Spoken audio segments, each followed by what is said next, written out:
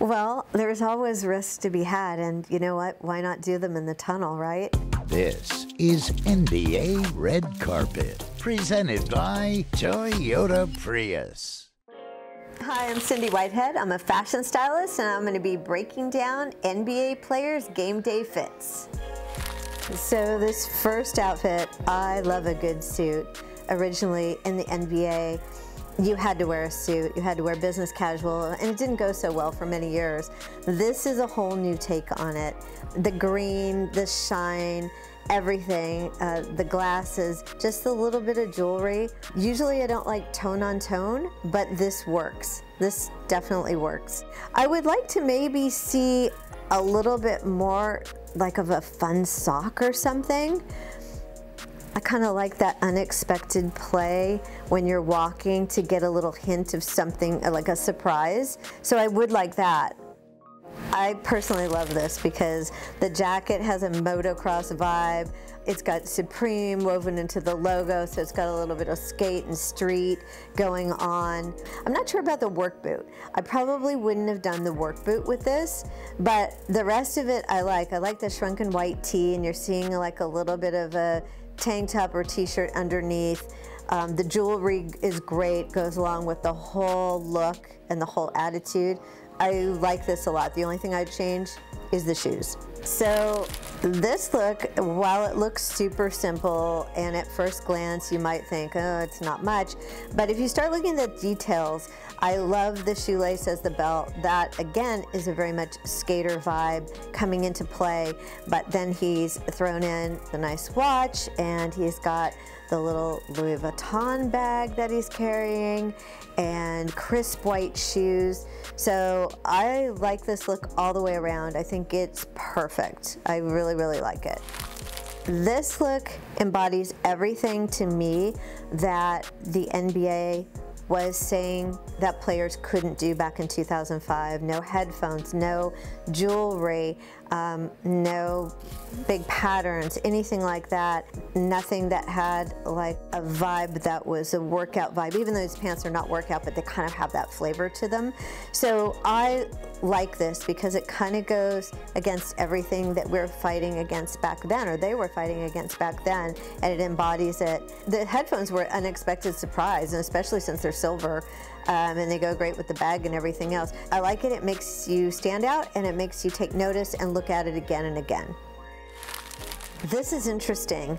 I like that we're bringing hockey into play. Usually, you know, we might see something that gives a nod to an OG legend in the NBA, which I love, or a political statement like free BG. I mean, you have 82 games a year. Why not make a statement at, you know, each and every one if you can? The jeans are a little bit baggy for the top, I think sometimes when you have baggy and baggy, it's a little much. It can be too much of a street vibe, but I like that they went out of the zone and went into hockey here. I thought that was interesting. The James Harden look, it kind of has that just rolled out of bed feel. I'm in the tunnel, it's practical, it's, um, you just slip your feet right into those shoes and slip them right out. They're not my favorite. I know they're super popular with a lot of people right now. And the pants as well have that pajama vibe to them. They're definitely not, but they have that whole vibe. It's a, a practical fashion look. That's what I would call it. It's, I'm ready to be comfortable. I would lose the headphones. I don't think you need them. I'm feeling like this one, it, it's definitely a look. It's not my favorite look. I would have skipped those jeans. Um, I know they make a statement. They've got some interest to them with the stitching, but I don't think it's his best look. I think um, a lot could be changed here, starting with the jeans and then going to the shirt. Uh, the hat I don't mind. What do we have with the necklace? Okay, so that's cool. Yeah, I would definitely change this look up. It's not my favorite look of his. I think there's better. Well, there's always risks to be had, and you know what? Why not do them in the tunnel, right? Uh, it's a good place to try out new looks. It's a good place to show a little skin if you want. First of all, the bag is unexpected. The shoes with the white socks um, scrunched down, not to mention the open shirt. I like the vibe. I mean, it's a very risk-taking outfit. If he had had it buttoned up, there wouldn't be as much to look at, talk about, and I think it would just be, hmm. But since he left the shirt open, it just brings it all together. This is one of those outfits that I'm looking at every piece of it and every part of it, and I keep going back and looking at it again and again because there's so much to look at. It's not so many pieces, but it's the way it's put together it's his attitude and his he's comfortable in it obviously. He's owning it. You can tell when somebody's trying something that they're not comfortable in. He's definitely comfortable with what he's wearing and he's risk taking which is cool I love Sue Bird style, first of all. Um, and the t-shirt, if you are not angry, you're not paying attention, what better place than the tunnel to make a political statement or any sort of statement? You have so many games a year that you have that opportunity. And I think a lot of the women in NBA, including Sue Bird, are there for that moment. Sue rarely gets it wrong. I would say everything about this is perfect, and I love that t-shirt.